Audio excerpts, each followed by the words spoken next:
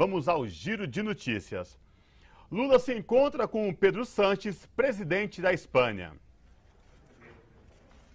A reunião foi hoje de manhã em Madrid. O diálogo foi sobre combate à desigualdade social, relações Brasil-Espanha e meio ambiente.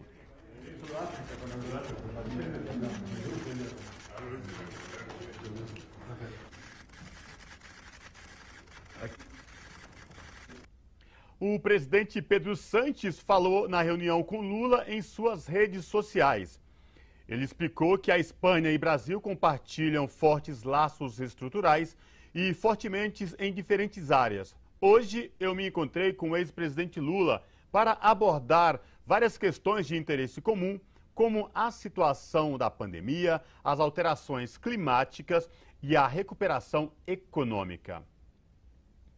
E o governo de Jair Bolsonaro escondeu dados de queimadas na Amazônia da COP26, a Conferência Mundial do Clima.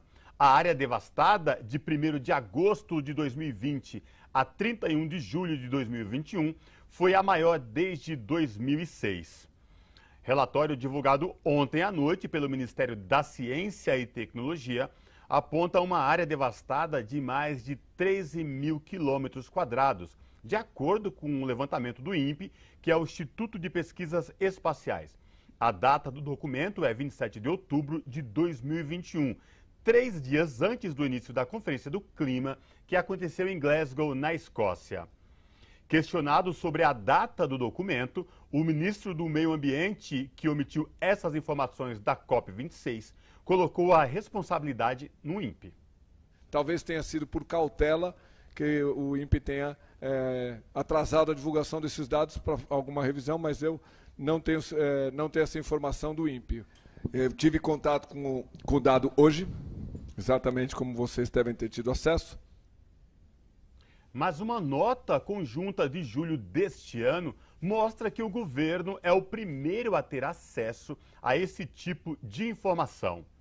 O Sistema Nacional de Meteorologia ficou responsável por repassar os dados em conjunto com outros órgãos para a sociedade e o governo. E Bolsonaro tentou mudar questões do Enem. Reportagem da Folha de São Paulo, publicada hoje, afirma que Bolsonaro pediu ao ministro da Educação, Milton Ribeiro, para trocar golpe 64 por revolução de 64.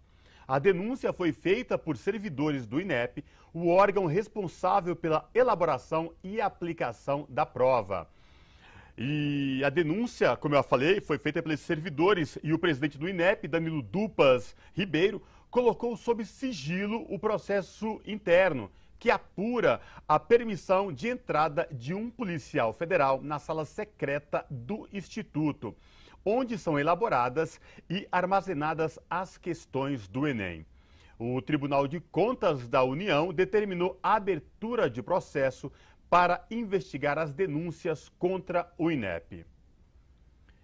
E para comentar as notícias do dia e também da semana, eu recebo o jornalista César Calerron. Boa tarde, César. Prazer falar contigo. Seja muito bem-vindo. Boa tarde, Cosmo. Prazer é sempre meu. Adoro debater contigo. Obrigado pela oportunidade. Boa tarde às amigas e os amigos que nos assistem nesse momento. Maravilha.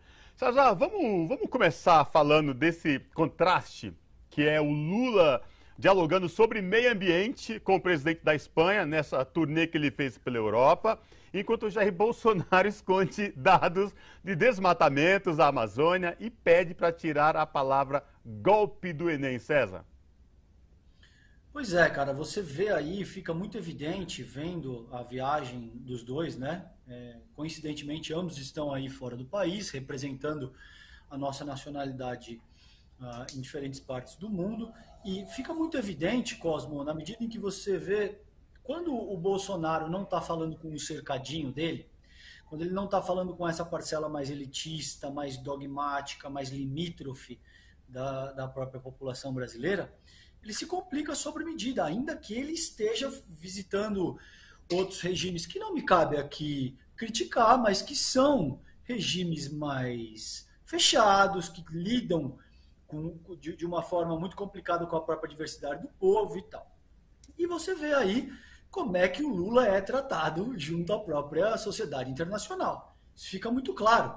Então, assim, com frequência as pessoas falam: não, mas porque você é petista ou porque você é esquerda. Bom, mas os principais líderes da Europa são petistas. Entende? Começa a ficar complicado na medida em que, bom, o parlamento europeu aplaudiu Lula de pé. Né? Todos os líderes, líderes, ah, ah, ah, enfim, franceses, espanhóis, de diferentes nacionalidades, é, recebendo Lula com pompa de estadista. Não é só como alguém que recebe um, um ex-presidente qualquer. Então, nessa medida, Cosmo, fica muito claro que o Lula tem um papel muito maior do que para além de ser presidente do Brasil, inclusive, entende? Ele tem um cargo de estadista frente ao mundo no que diz respeito ao combate à desigualdade, à proposição de um novo modelo de sociabilidade.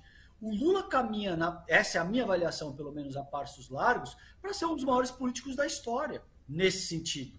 Vai ser lembrado pela história como o metalúrgico que saiu do chão de fábrica, que ascendeu não só à presidência do próprio país, mas para uma condição de protagonismo no que diz respeito a contestar o modelo de sociabilidade como ele está organizado a essa altura, fundamentalmente no planeta inteiro. Então, olha aí, veja essas cenas, entende?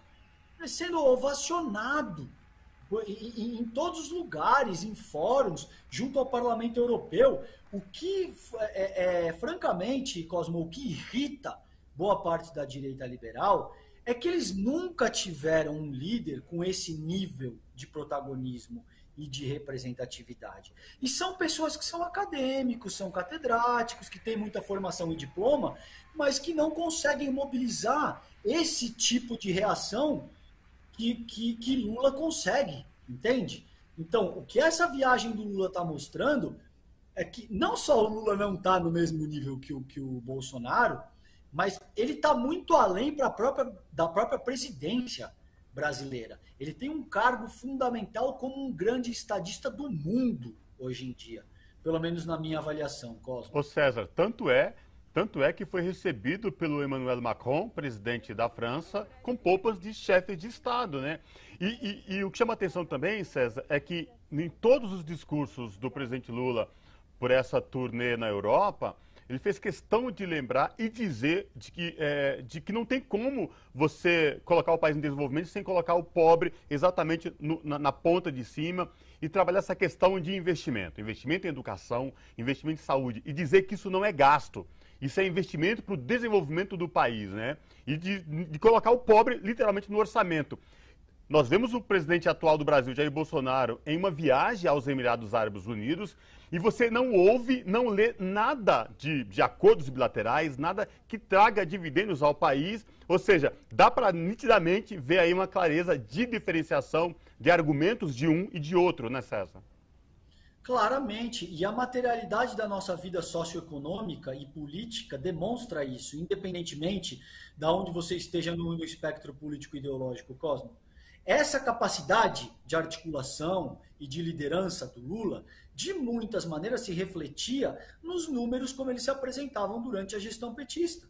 Então, era só, é só observar como é que estava o preço da gasolina, como é que estava o preço do botijão de gás, como é que estava a a cesta básica, enfim qualquer parâmetro que você escolha para observar isso, vai te dar conta, bom, faz a diferença ter um, um, um, presidente que é articulado, que é respeitado junto à sociedade internacional, que é recebido em fóruns multilaterais, ou ter um projeto, um protótipo inépito de déspota, como é o próprio Jair Bolsonaro, bom, os números demonstram isso. Não é uma questão de achismo que se você é de esquerda ou se você é de direita ou não. Porque você pode ser de direita, você vai continuar pagando 10 reais o litro da gasolina daqui a pouco. Entendeu? Então, de muitas maneiras, essa penetração do Lula junto à sociedade internacional se transmitia para a forma como a, a, a, vida social, política e econômica da nação estava organizada em, a, domesticamente. Assim como a, a falta de articulação, de habilidade e, e, e, todas as cretinices que o Jair Bolsonaro vem conduzindo nesses quase três anos de governo também se refletem em parâmetros muito materiais né, na vida social, na vida política, nesse caos que a gente vive em todos os sentidos atualmente e infelizmente.